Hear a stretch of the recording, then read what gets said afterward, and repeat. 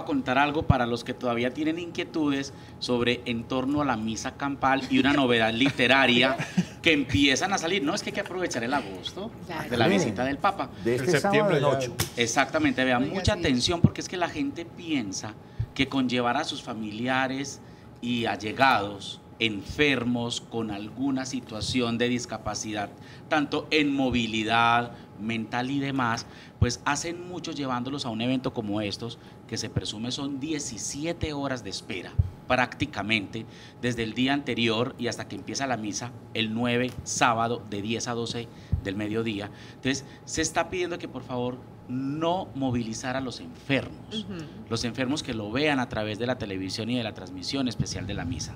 Van a dejar entrar sillas, pero sillas pequeñitas, esas que son fáciles de transportar y que mucha gente utiliza, obviamente, como para ver pasar desfiles y La demás. Semana Santa. Exactamente, que se utilizan mucho en Semana Santa a propósito en las procesiones.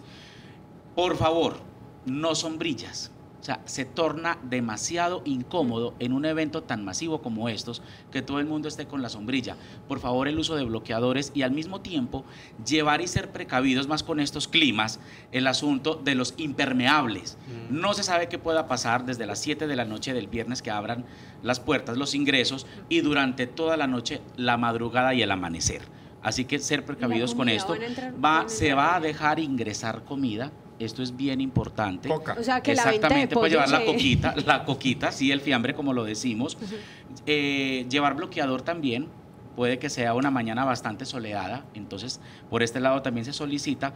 Y por favor, pilas porque se nos viene novedad literaria con todo este asunto de la visita también del Papa.